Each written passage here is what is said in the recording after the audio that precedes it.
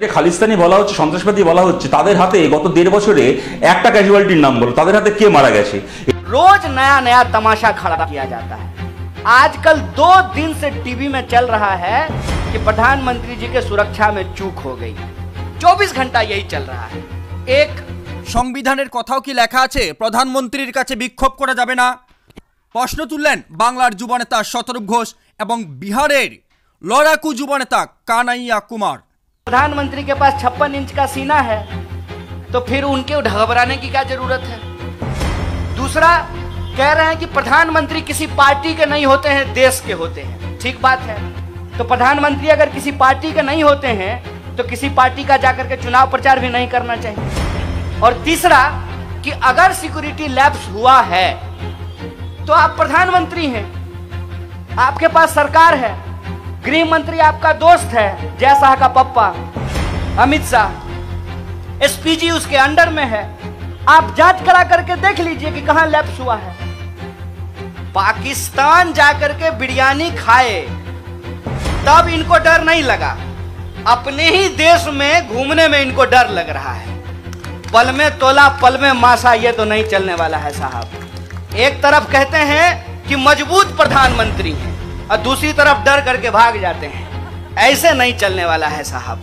आप मुद्दे को भटकाना बंद कीजिए। मुद्दा यह है कि कितना भी आप प्रचार कर लीजिएगा ना, सच सच होता है। एक बात बताइए कि नारियल के पेड़ के नीचे खड़ा हो जाएँ और हम एक लाख बार बोले, आम है आम है आम है तो नारियल आम हो जाएगा। कहते हैं, बंदर क्या जाने आदि का स्वाद। बंदर क्या जाने आदि का स्वाद और संघी क्या जाने आज़ादी का स्वाद। जो लोग इस देश की आज़ादी में शामिल नहीं थे, जिन लोगों ने इस देश को आज़ादी नहीं दिलाई, उनको इस देश की आज़ादी से प्यार भी नहीं है। कहते हैं ना, जो बनाता है, उसी को दर्द होता है। महिलाएँ इस बात को बखूबी समझेंगी।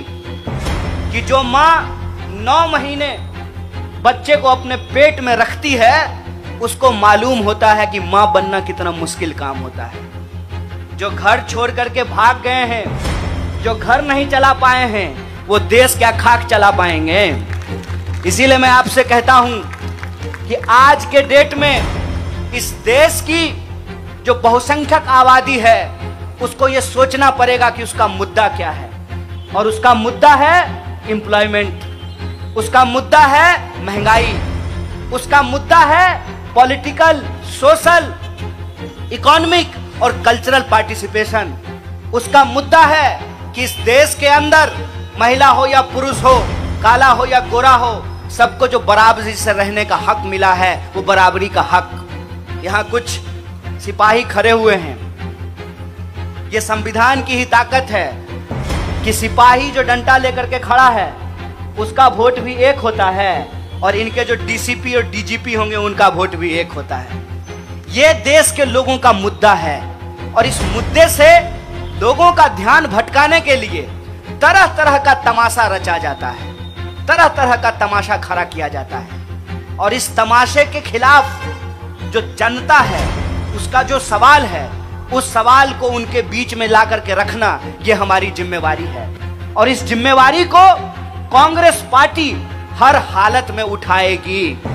आजकल कांग्रेस पार्टी के लिए कुछ नए नए शब्द गढ़े गए हैं। जैसे, मैं जब आ रहा था तो मुझे किसी ने कहा कि टुकड़े टुकड़े का पोस्टर लगा दिया है। हमने कहा कि देखिए, हम बड़ी प्राउडली कहते हैं कि हम टुकड़ा टुकड़ा करेंगे। भाजपा का। इतना टुकड़ा करेंगे ना, कि फिर ये फेबी कॉल क्या फेबी क्विक लगाने के बाद भी ये जुड़ नहीं पाएगा। और ये जितनी कोशिश कर लें, ये तीन आरोप लगाते हैं मुख्य रूप से। एक, हिंदू विरोधी होने का। तो मेरा तो नाम कन्हैया है। दूसरा, सेना विरोधी होने का। क्योंकि मैं पहली बार गोवा आया हूँ, इसीलिए आपको बता रहा हूँ। मेरे घर से 16 लोग फौज की नौकरी करते हैं। और तीसरी बात जो मैं कर रहा था, जिसकी वजह से मैं कांग्रेस पार्टी का ये खेस अपने कंधे पे रखा हूँ। मैं ऐसे परिवार से आता हूँ, जिस परिवार को स्वतंत्रता सेनानी का पेंशन मिला करता था। मैं उस पार्टी का दामन इसलिए थामा हूँ कि सवाल किसी को प्रधानमंत्री या मुख्यमंत्री बनाने का नहीं है। सवाल देश का है मुझे लगता है कि प्रधानमंत्री जी की तरह गलत कोंकणी बोलने से अच्छा है हिंदी ही बोल लें এই সরকারের হাতে সাতশো চোদ্দ জন কৃষক মারা গেছেন তাদের আমি নাম বলতে পারি ভিকটিম তারা যাদেরকে খালিস্তানি বলছো তাদের হাতে ভিকটিমটাকে আমি জানতে চাই তিন নম্বর কথা হচ্ছে আজকে তোমরা বলছো যে প্রধানমন্ত্রী, আমাকে তুমি দেখাও ভারতের সংবিধানের কোথায় লেখা আছে প্রধানমন্ত্রী রাস্তা অবরোধ করা যাবে না। তোমাকে আমি বলি, আজকে যে পাঞ্জাবের ওখানটাতে বলা হচ্ছে যে পাকিস্তানকে মদত করছে পাঞ্জাবের সরকার, কেননা প্রধানমন্ত্রীর পথে ওখানে বিক্ষোভ দেখানো হয়েছে। আমি তোমাকে মনে করাই দু হাজার উনিশের ডিসেম্বরে সিএ পাশ করার পরে আসাম একটা বিজেপি শাসিত রাজ্য। এক মাসের মধ্যে দুবার প্রধানমন্ত্রী আসামে যেতে গেছেন, আসামের মাটিতে পা রাখতে পারেননি বিক্ষোভে। ওখানে এমন বিক্ষোভ হয়েছে প্রধানমন্ত্রীর বিরুদ্ধে, বিজেপির বিরুদ্ধে। ওখানে তো বিজেপি সরকার রয়েছে, তাহলে আমি ধরে নেব?